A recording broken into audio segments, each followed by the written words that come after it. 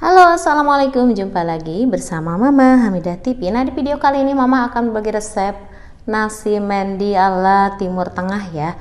Nah di sini Mama sudah punya 1 kg beras setengah kilogram ayam dan ada bumbu di sini. Sudah Mama iris-iris bawang merah bawang putih merica bubuk dan ada jintan bubuk ya.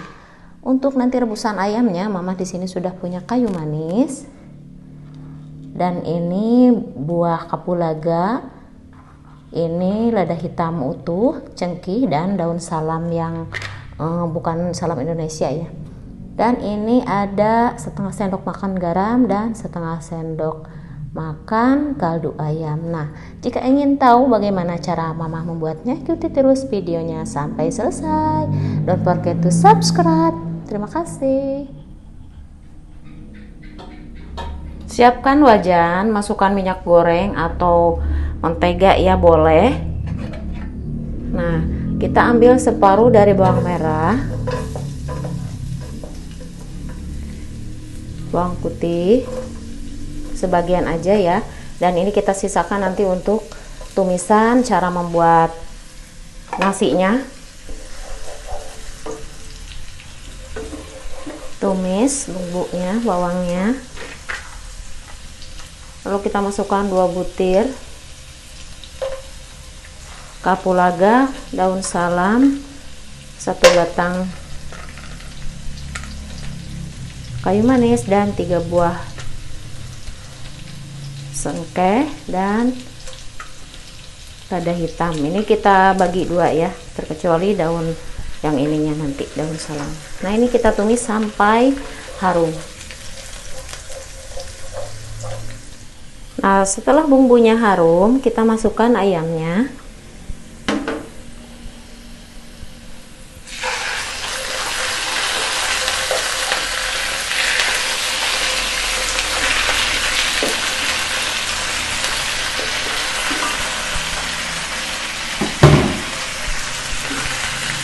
Kita balik-balik supaya matang ya.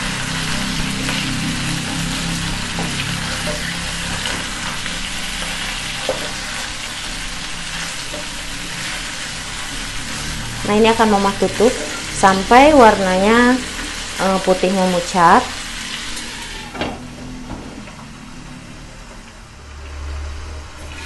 Jangan lupa kita masukkan garam dan kaldu ayamnya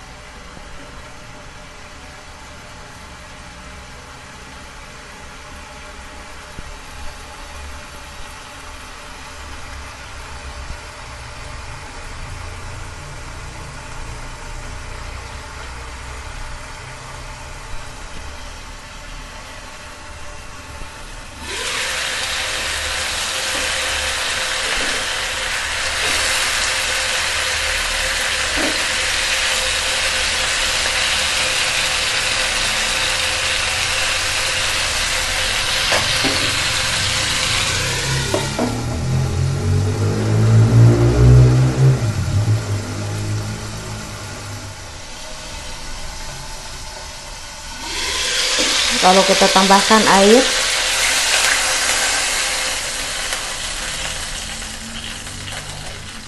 Nah ini kita tutup biarkan mendidih ya. Di sini mama menambahkan 1000 ml air.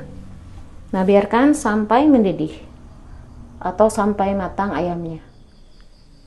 Nah, ini Bunda berasnya sudah Mama cuci dan Mama rendam dengan air hangat selama 20 menit kita lang langsung aja cek ayamnya apakah sudah matang ya.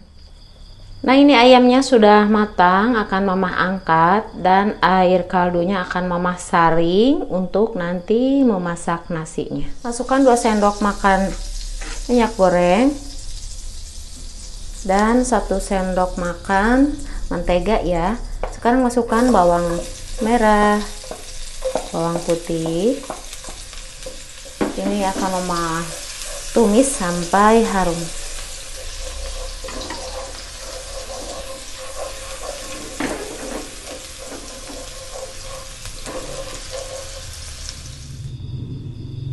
Mohon maaf ya mom. Tadi nggak ke record pas memasukkan bumbu uh, jintan dan merica juga air kaldunya. Sekarang ini mama akan masukkan berasnya. Ini sudah mama tes rasanya sangat enak ya masukkan beras yang udah kita rendam selama 20 menit. Nah ini sampai terendam aja ya. Ini warna warnanya agak kekuningan. Mungkin tadi mama menambahkan uh, satu sendok makan mentega untuk tumisan bumbu halusnya.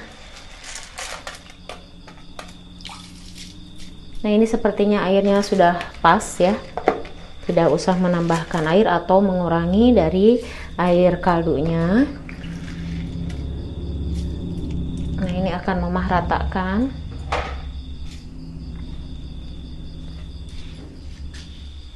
Nah ini sepertinya sudah pas ya. Nah ini kan mamah tutup sampai meresap. Biarkan di api sedang cenderung kecil.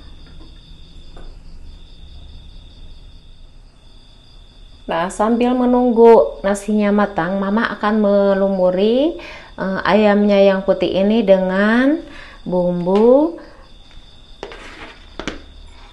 sedikit kunyit ya, bubuk kunyit dan ada setengah sendok makan uh, chili powder supaya nanti ayamnya agak berasa pedas ya.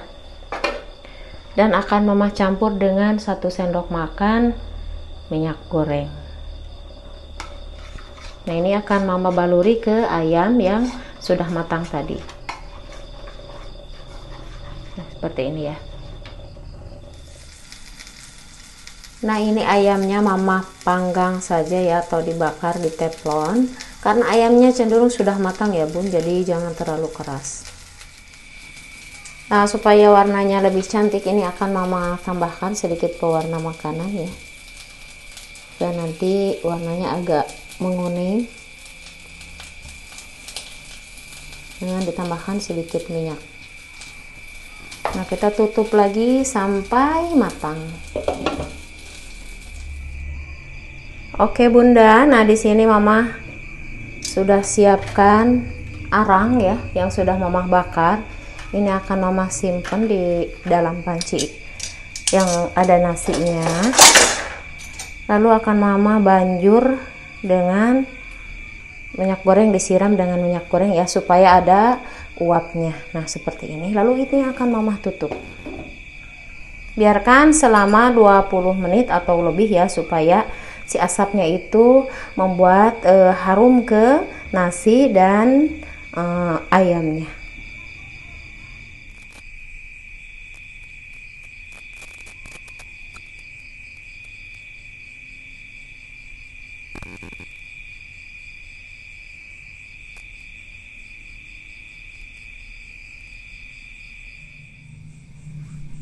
Nah ini nasinya sudah matang, ini akan tuh sudah mama buka tutupnya. Hmm, dan harum sekali ya. Ini akan mama ambil. Ah ini panas sekali. Lalu kita akan sajikan. Nah ini dia resep kali ini. Nasi mendi ala timur tengah ya ini sangat enak sekali bunda. Nah jika jenuh dengan menu yang itu-itu saja Silahkan dicoba resep dari mama ini ya. Simple menggunakan beras lokal Tapi hasilnya sangat enak sekali. Ini harumnya sangat gak ini ya semerbak sekali ini di ruangan mama ini. Wangi sekali Nah itu saja video kali ini semoga bermanfaat Nah jika video ini bermanfaat mohon dukungannya dengan subscribe, like, komen Dan saya juga kepada yang lainnya ditekan tombol loncengnya ya Supaya tidak ketinggalan notifikasi resep dari mama yang baru Thank you for watching. See you the next video. Assalamualaikum warahmatullahi wabarakatuh. See you. Bye.